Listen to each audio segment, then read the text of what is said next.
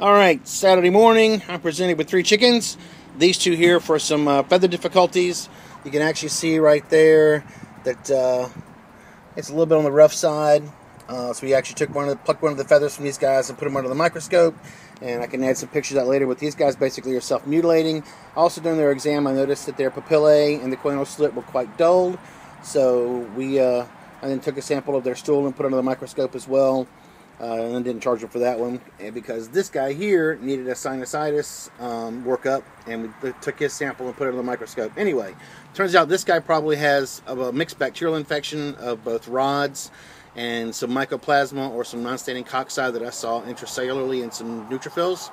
And we're going to have recommended these guys start some uh, oxytetracycline for a while, and if that doesn't work, we'll probably go for some cultures or change antibiotics. But anyway, that's what we're starting for now. And uh, since these guys have the same clinical signs as far as the choanal slit and dull papillae, I recommend these guys going antibiotics too. So hopefully we'll see a difference and an improvement in about a week. Okay? All right. That's it for now. Chickens everywhere.